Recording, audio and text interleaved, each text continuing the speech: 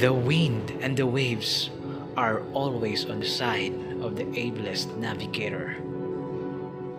Rough storm with high waves proves the strength of a safer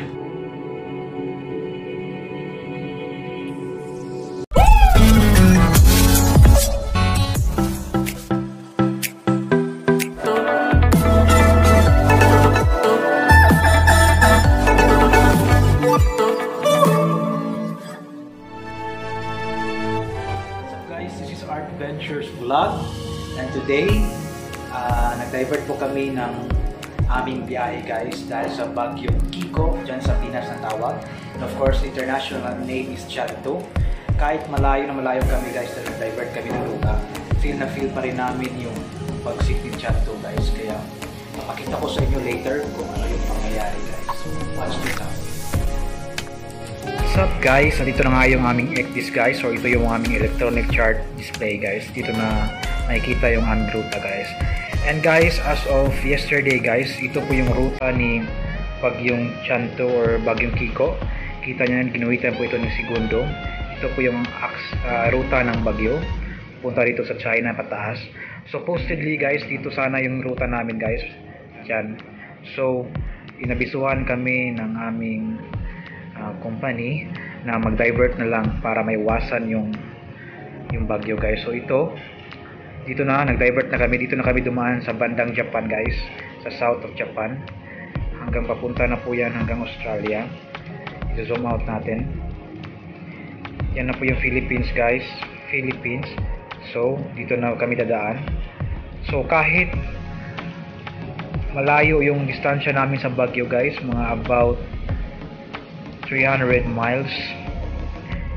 Kitang kita mo pa rin yung bagsik ni Bagyong Chanto guys dahil kasi malapad tong bagyo na to. So expected talaga na yung buntot niya ay mahagilap namin. And ilang isang araw na kaming hindi makatulog ng maayos dahil sa gulong-gulong. Papakita ko sa inyo guys yung gulong dito guys yung paggalaw ng Hello guys, this is our current situation. Kahit hindi man gaano kalakas yung alon, pero yung swell guys ay napakataas. Kapag merong long swell guys, ibig sabihin may nagbabadyang low pressure or malapit ka sa bagyo. Nang dahil sa long swell at nasa harapan nito guys, we are currently experiencing pitching and pounding guys. Ibig sabihin, tinataas yung barko namin at biglang bababa sa tubig and mas delikado ito guys dahil mas prone ito sa pagkabali ng barko lalong lalo na kapag loaded yung barko guys dahil mas mataas yung stress sa barko. Sa mga ganitong sitwasyon guys ay sinasanay na namin ang aming mga sarili lalong lalo na yung aming mga sikmura na wag nang sumuka. At higit sa lahat, tinitibayan namin lalo ang aming pananampalataya sa Panginoon para sa safety and guidance ng lahat. Kaya laban lang. One eternity later.